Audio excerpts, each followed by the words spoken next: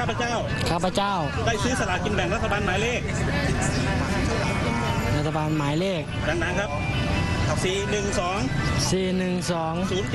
073จำนวน2ใบ จำนวน 2 ใบ ซึ่งสลากทั้ง2ใบ ซึ่งสลากทั้ง 2 ใบได้ถูกรางวัลที่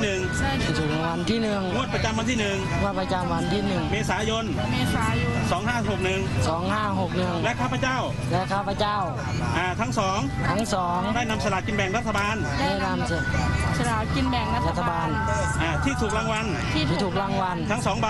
ทั้งสองใบดังกล่าว ดังกล่าวไปมอบให้กับได้มอบได้ให้มอกับบให้กับนางมานิดนางมานิดเต็มปักศรีเต็มปักศรีจริงจริงหากข้าพเจ้าหากข้าพเจ้า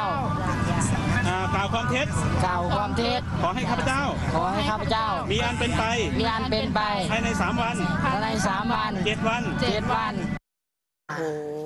ชัดชัดๆเสียงดังแบบนี้ฟังชัดเลยนะคะค่ะก็เป็นการกล่าวคำสาบานต่อหน้าอนุสาวรีย์เท้าสุรนารีหรือว่าย่าโมนะคะ ของเด็กชายแดนนามสมมุติ แล้วก็เด็กหญิงอิ๋วนามสมมุติ ไปพร้อมกันเลยเมื่อวานนี้ ขณะที่คนนี้ก็ไปด้วยค่ะ นางบัวตันเกาะอ่าเลาะกลาง อันนี้เป็นคุณแม่ของฝั่งของเด็กผู้ชายค่ะก็มากล่าวคำสาบานต่อหน้าของย่าโมด้วยเช่นเดียวกันอืมนะคะ ก็ยืนยันบอกว่าไม่เคยขับไล่ลูกสะพ้ยตามที่คุณมานิดเต็มปักศรีนะคะมีการกล่าวอ้างอืมแล้วก็ยืนยันบอกว่าคำให้การที่ไปเบิกความต่อศาลจังหวัดนางรองนี่เป็นความจริงทุกประการนะคะ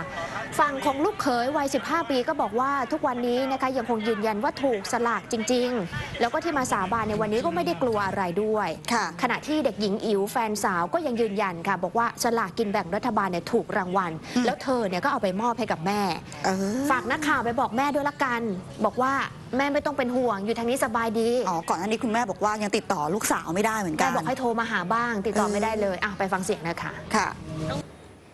เราซื้อลอตเตอรี่จริงครับมั่นใจครับๆยังยืนยันใช่ไหมคคะรับ วันนี้มาสาบานเป็นไงบ้างก็เฉยๆครับไม่กลัวครับ เขาอยากให้เราติดต่อไปบ้าง ก็ก็เดี๋ยวถ้า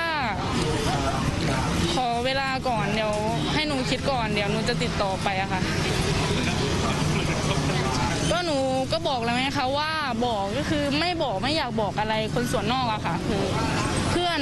กลัวเพื่อนไปบอกอะไรกับคนอื่นนะคะไม่อยากจะพูดเท่าไหร่อะก็เป็นเสียงของลูกสาว กับลูกเขยอืมนะคะ ขณะเดียวกันทางด้านของทนายความค่ะคุณชาติชายพลเทพเนี่ยบอกว่าการสาบานครั้งนี้ เป็นความต้องการของเด็กทั้งสองคนเองนะคะ แล้วก็จากนี้ไปจะขอให้เป็นเรื่องของกระบวนการยุติธรรมแล้ว จะออกมาให้ข่าวครั้งนี้ครั้งสุดท้าย ในส่วนของตนเองเนี่ยที่เป็นทนายความนะคะก็บอกว่าตัวเองมีความเชื่อในเหตุการณ์นี้ ไม่ได้เชื่อคำพูดเด็กอย่างเดียวนะคะ แต่ว่าก่อนที่จะมารับว่าความในคดีนี้เนี่ยทนายความบอกว่าก็ตรวจสอบข้อเท็จจริงบางส่วนไปบ้างแล้ว แล้วก็ค่ะมีหลักฐานบางส่วนที่มีอยู่แล้วก็รับทราบมาแล้ว แต่ว่ายังไม่สามารถที่จะเปิดเผยได้ ก็ต้องเป็นเรื่องของตำรวจเองที่ยังคงต้องค้นหาหลักฐานเพิ่มเติมค่ะ